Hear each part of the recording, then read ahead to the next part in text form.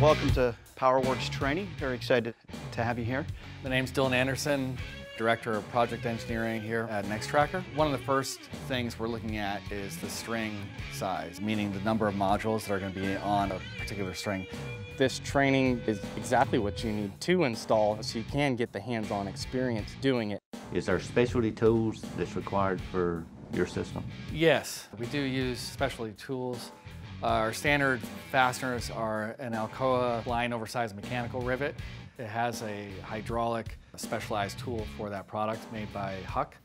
And the bobtails have a sway stand that also uses an air compressor for the modules. And actually, when we go outside, we're going to use these tools, show you how they're used, and you'll get to feel them and hold them and see the weight of them. This is one of the benefits of the self-powered row, because each row has its own motor, its own controller. Customers like to be able to drive right down the middle and clean two rows at the same time.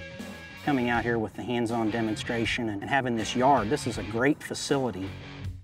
That's what really sets this day apart.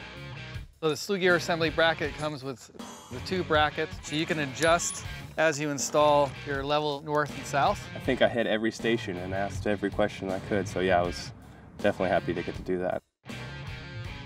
The reason we have the slot holes, you want the flexibility for your bearing house assembly.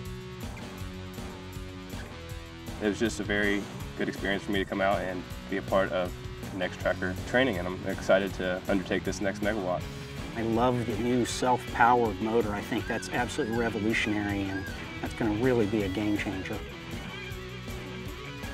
I highly recommend it if you're going to be using this product. Come out to their training and get your hands on it and do it.